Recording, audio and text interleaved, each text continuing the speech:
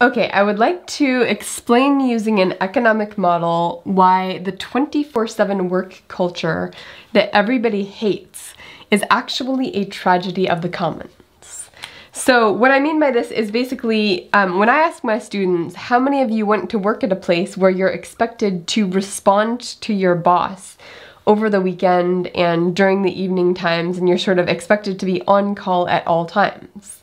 Well, nobody wants that. Nobody wants to be in a place like that 10 years after college. But um, yet, this is something that we see all over the place, especially in um, consulting firms and in a lot of these very competitive industries. So what is going on? And I've built a model here where you're maximizing the probability of promotion.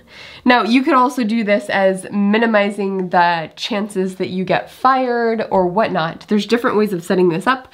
I just chose probability of promotion where you're choosing how responsive are you to your boss over the weekend and during the evenings. That's the choice variable here. And there's a benefit and a cost built into this where the benefit of responding quickly to your boss is of course that it increases your probability um, that you'll be promoted. It sort of uh, puts you in the good graces of your boss.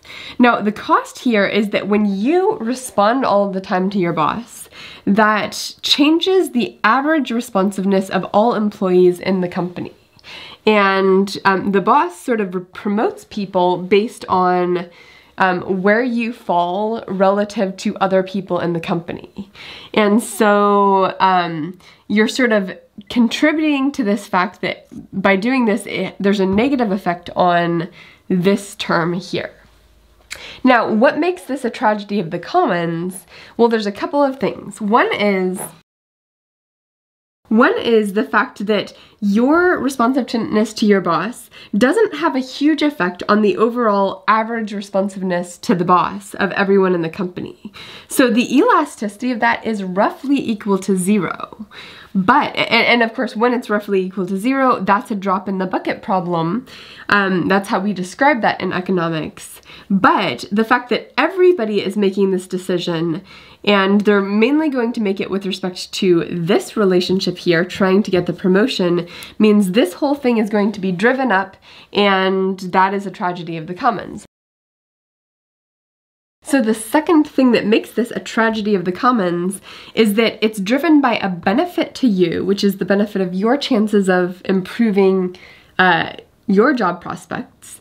Yet there's a cost to the group. So the, the average responsiveness of everybody acts like a cost, that we have these expectations that none of us like. And um, there's this drop in the bucket thing. These are the features of a tragedy of the commons. It's benefit to you, cost to the group.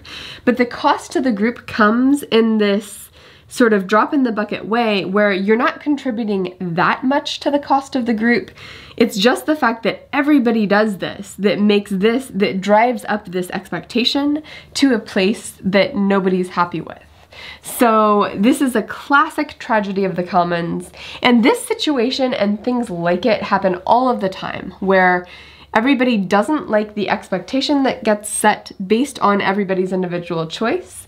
But because everybody's individual choice has such a small impact on the group expectation, nobody puts very much weight on this when they're optimizing. So um, tragedy of the commons is very common and this is just one way that it shows up in the workplace that nobody likes.